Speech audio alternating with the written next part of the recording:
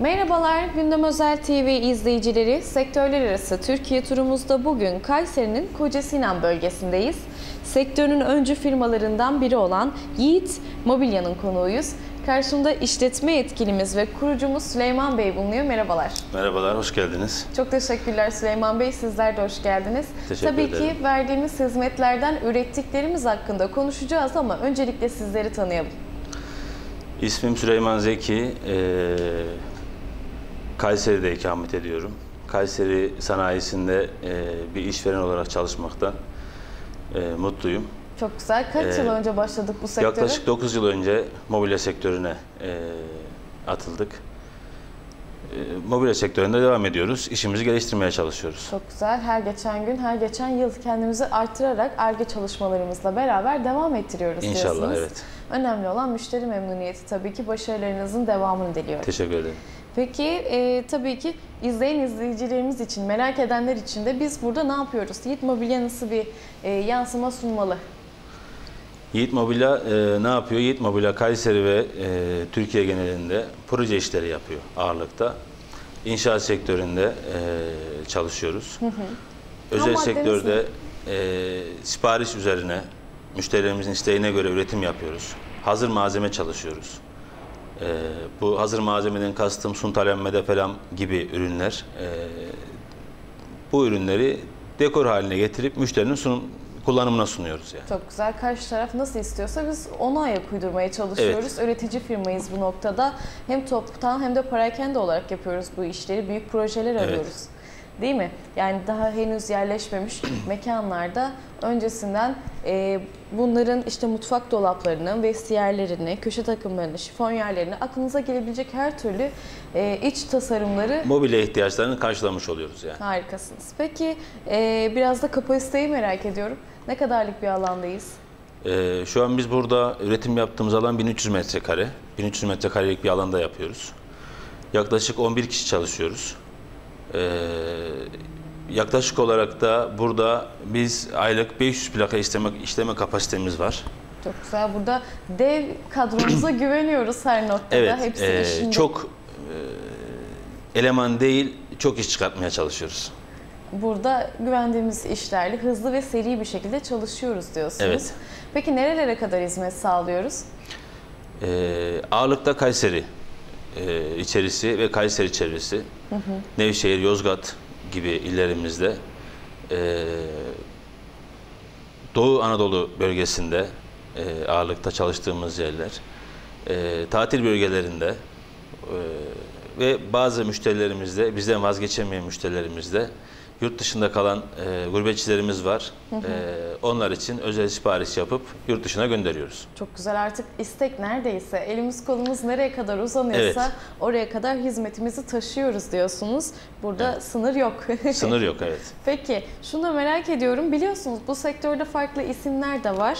Sizi bunlardan Yiğit Mobilya'yı bunlardan ayıran etken ne olabilir Süleyman Bey? Yiğit Mobilya'yı bunlardan at- e, ayıran etken ne olabilir? Yiğit Mobilya e, işini severek yapan bir ekiple kurulmuş.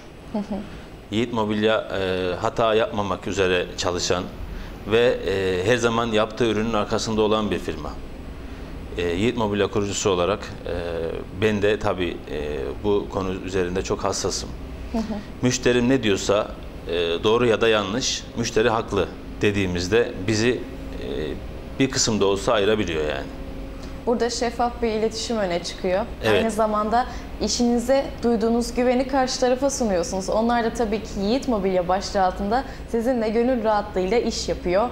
Bu da Evet. bir mutluluk açıkçası. Mobilya sektöründe bazı püf noktalar da var. Sizce bunlar neler olabilir? Mobilyacı nelere dikkat etmeli? Mobilyacı nelere dikkat etmeli? Mobilyacı e, şöyle söyleyeyim.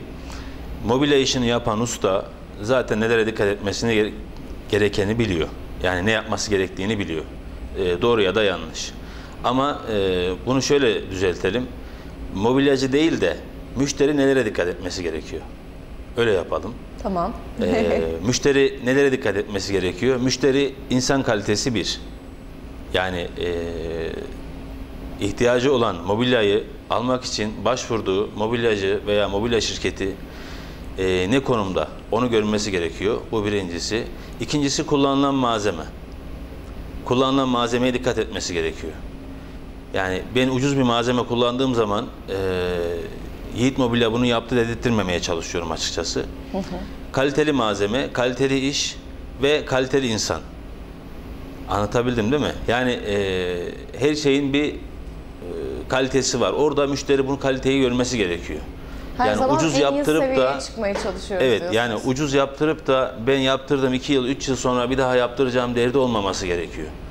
Yani mobilyacı şöyle mobilyacılarla e, ilgili bir e, şey yapmak istemiyorum hani e, yorum yapmak istemiyorum. Çünkü meslektaşlarım herkes derler ya bizim Kayseri'de bir söz vardır atasözü. Her yiğidin yoğurt yiyişi farklıdır.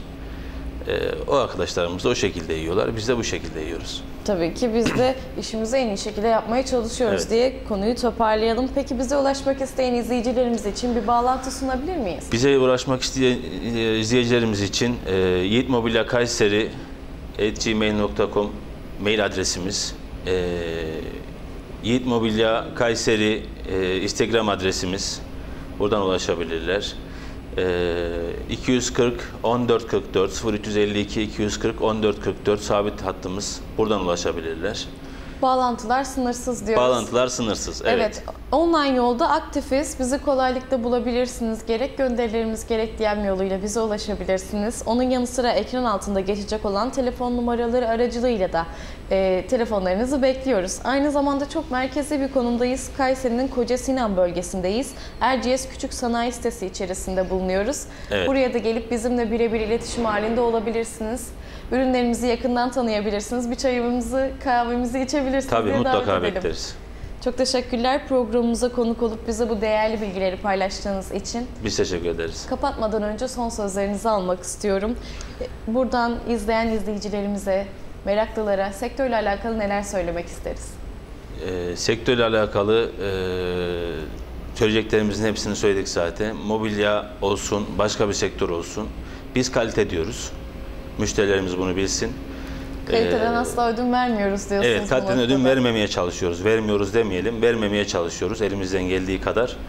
E, herkese sağlıklı yıllar diliyorum. Sektörde uzun yıllar varlığınızı korumak dileğiyle Süleyman Bey. Teşekkür ederim.